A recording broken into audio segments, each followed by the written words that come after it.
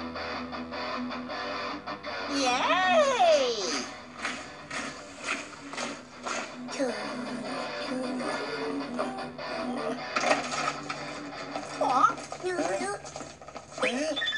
んだ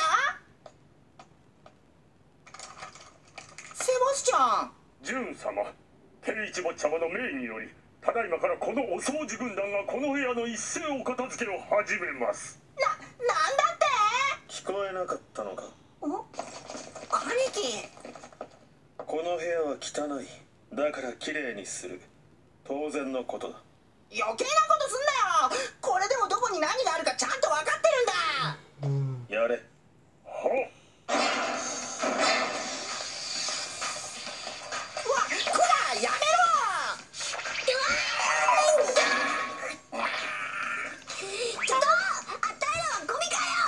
んぞなおいやめろってらう。わ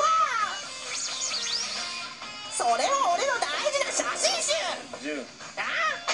これは何だ？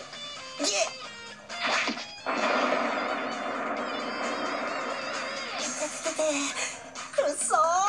こんな家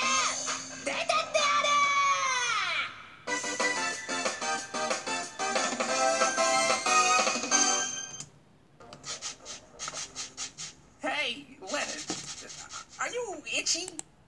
No, I'm sleeping. Well, wake up. All of a sudden, I, I'm itching like crazy. Is Mrs. H buying those cheap synthetic blend sheets again? Nope, it says 100% Egyptian cotton. Oh, great. You know what this means? You're gonna keep us up all night with your whining? Maybe you have fleas. Bite your tongue, sir. Good dogs don't get fleas, and I'm as good as they come. Besides, if I had fleas, I'd be able to brush back my fur and see them crawling around like. Fleas!